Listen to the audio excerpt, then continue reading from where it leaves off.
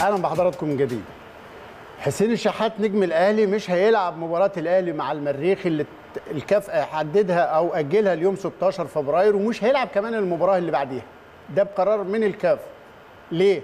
النهارده الاتحاد الأفريقي لجنة الانضباط فيه اعتمدت العقوبات الخاصة بالأهلي والزمالك عن المباراة النهائية في دوري الأبطال. قررت لجنة الانضباط إيقاف اللاعب كابونجو كاسونجو لاعب الزمالك أربع مباريات مقبلة من بطولات الاتحاد الأفريقي. إيقاف مصطفى محمد أربع مباريات مقبلة من بطولات الاتحاد الأفريقي. يعني مصطفى محمد عنده أربع ماتشات مش هيلعبهم. غرامة قدرها 10000 دولار على ناديي على نادي الزمالك بسبب سوء سلوك لاعبيه. إيقاف حسين الشحات أربع مباريات تم إيقافه مباراتين وباقي له في العقوبة مباراتان مقبلتان.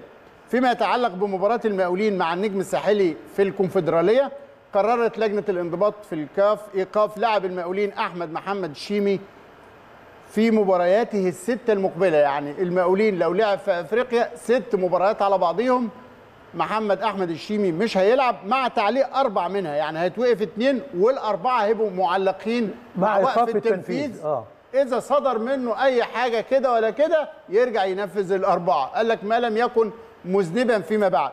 وقررت اللجنة أيضا فرض غرامة مالية على اللاعب قدرها 5000 دولار لسوء سلوكه المؤسف أثناء المباراة اللي المقاولين الحقيقة كان ظلم فيها ظلم بين والكاف بيعلن تأجيل مباراة للأهلي في دوري الأبطال.